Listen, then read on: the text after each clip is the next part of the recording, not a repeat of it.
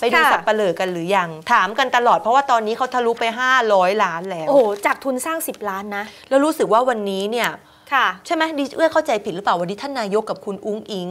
น่าจะไปดูนะ ใช่น่าจะไปดูใช่ค่กัน ทนกระแสไม่ไหว คุณผู้ชมดูยังคอมเมนต์มาได้นะ สปอยนิดนึงก็ได้ ว่าเป็นยังไง เพราะว่านากับพี่ก็ยังไม่ได้ดูเนาะ ใช่ค่ะ นะคะอะ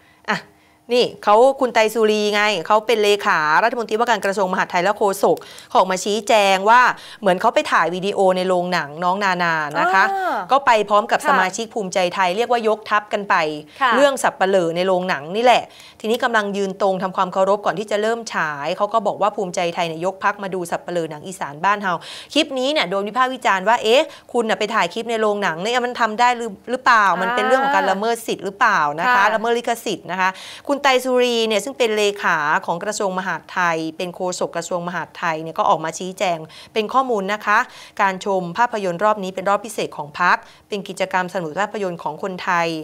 ของทางพัก แต่การถ่ายคลิปเกิดขึ้นในช่วงก่อนถ่ายหนัง ก่อนฉายหนังไม่ได้มีการถ่ายช่วงที่ฉายหนัง อันเป็นการละเมิดสิทธิ์ของผู้สร้างแต่อย่างใดค่ะและกิจกรรมนี้ก็มีคนสร้างคนกำกับนักแสดงของเรื่องนี้มาร่วมด้วยนี่นี่คลิปที่เขาเปิดเผยกันก็เลยถูกวิจารณ์กัน และขออภัยหากคลิป ทำให้ท่านไม่สบายใจภูมิใจไทยตระหนักและให้ความสำคัญสูงสุด ต่อการเคารพสิทธิ์ในผลงานสร้างสรรค์และกฎหมายเขาออกมาชี้แจงว่า เขาไม่ได้ถ่ายตอนที่หนังฉาย เพราะว่ารอบเนี้ยน่าจะเป็นรอบที่มีแต่พักภูมิใจไทย คือปิดโลงว่าอ่าง่ายๆกับผู้สร้างผู้กำกับนะก็อย่างวันนี้ก็น่าจะเป็นรอบของท่านนายก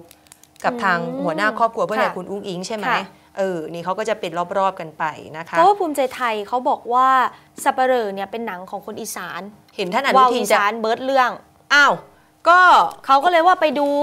เราไปดูสัมภาษณ์บ้นเขไปแล้วในรายการค่ะ YouTube มาที่ชนทีวี ก็ค่ะคนที่ส่วนหนึ่งเป็นนายทุนก็คือคุณโต้งไงคุณโต้งอืมที่คือที่อยู่พักภูมิใจไทย ใช่แล้วไหมอืมที่อยู่ศรีสะเกดนะคะค่ะเออแล้วก็เดี๋ยวเมื่อวานคุณอนุทินก็บอกว่าเดี๋ยวจะผลักดันเป็นซอฟต์พาวเวอร์ด้วยหรือเปล่าค่ะ นะอะอันนี้ก็เป็นเรื่องความภูมิใจของคนไทยจริง ๆนะคะ เพราะว่าทะลุไป 500 ล้านในยุคแบบนี้ที่คนเข้าโรงหนังน้อยลง อันนี้เรียนตามตรง แต่ว่ากลายเป็นว่าถูกมาบูมอีกครั้งค่ะเรียกว่าทำให้คนเข้าโรงหนังแล้วก็ไปดูหนังไทยขึ้นมานะคะ ดูคลิปจบแล้วฝากกดไลค์กดแชร์ กด Subscribe แล้วฝากสมัครสมาชิกด้วยการสแกน QR Code ด้วยนะคะ ขอบพระคุณค่ะ